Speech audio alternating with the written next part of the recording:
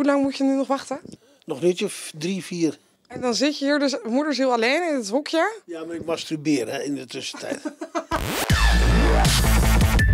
Kahiwara! Kahiwara! Gatu! Kato! Kamatara! Vanavond is de première. Waar gaat de show over? Over mijn leven. Over dingen die ik meegemaakt heb. Over dingen die ik gezien heb. Over dingen waar ik in geïnteresseerd ben.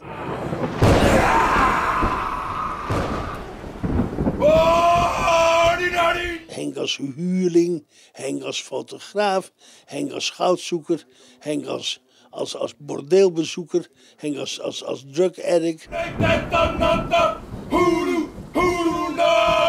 Mi vida loca, my, crazy life, zoals de Mexicaan dat eh, noemt. Seks, drugs, rock'n'roll, drank. Het meeste heb ik toch wel afgezworen, dat is niet meer te doen. En wat heb je vooral afgesproken dan? Nou, bijvoorbeeld het, het, het cocaïnegebruik wat ik vroeger had, dat, dat, kan, dat kan ik helemaal niet meer. Dat, dat red ik niet meer. Er zit trouwens ook niks meer waar het aan blijft plakken. Dus er zit één groot gat in. Ik denk dat als ik deze... Oh, maar die komt er dan dus aan de andere kant uit. Ja.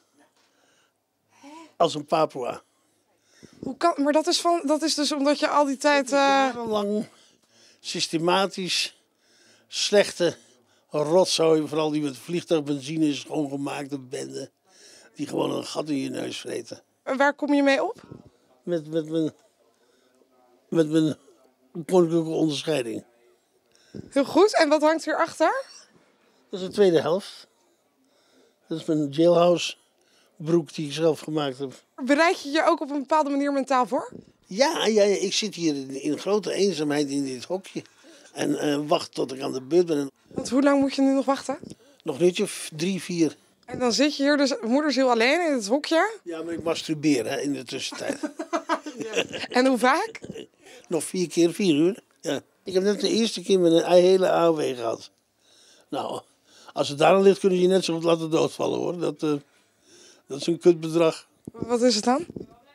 700 zoveel euro of zoiets, daar kun je niks mee.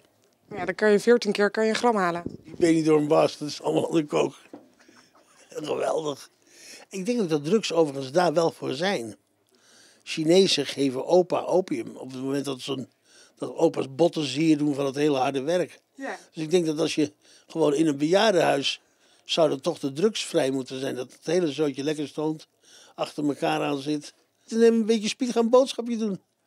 Dan kwiek als een vogeltje rennen ze door de straat heen. Dus over een paar uur dan kom ik bij jou langs en dan zit jij in een soort van drugswalhalla ergens in een, eh, in een tehuis. Nou, je zou je dan een bejaardenhuis eh, ons laten, opa's laten leiden, ons lijntje. Of aan, aan het eind. Henk, ik wens jou heel veel succes vanavond. Ja.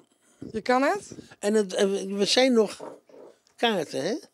We komen naar je toe deze zomer.